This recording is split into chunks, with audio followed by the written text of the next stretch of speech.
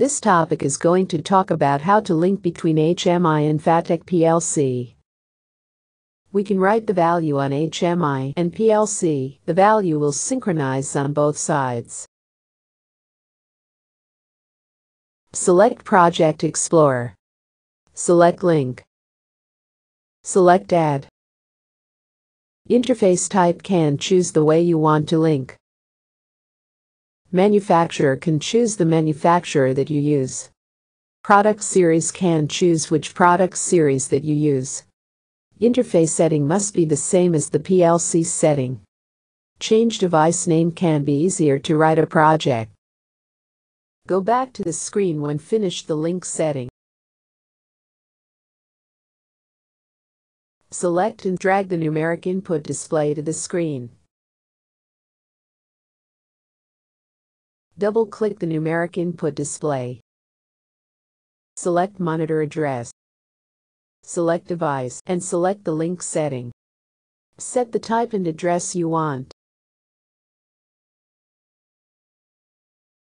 Tick Allow input allows users to write a value to the specific register. Use text to show the monitor address.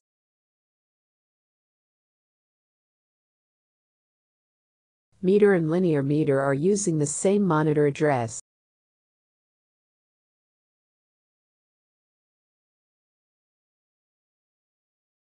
Select PLC. Select Online. Select ECP.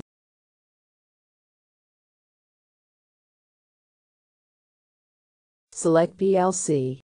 Select port 0 parameter and setting. This setting must be same as the interface setting in FvDesigner. Select Status Page. Select Ref No and write the same address in the monitor address. Select the compile which is in the project.